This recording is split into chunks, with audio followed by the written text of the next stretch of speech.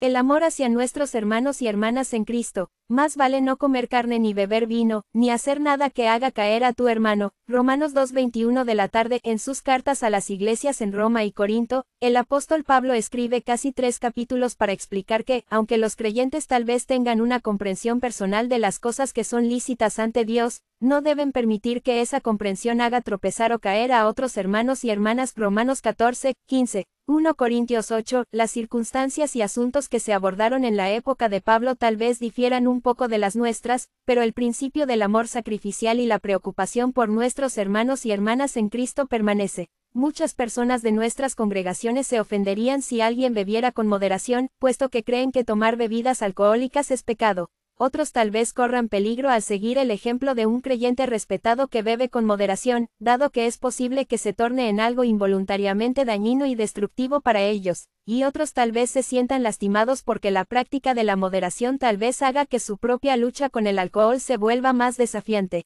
El amor siempre tiene precedencia sobre la preferencia de alguien, dado que todavía somos guardas de nuestros hermanos.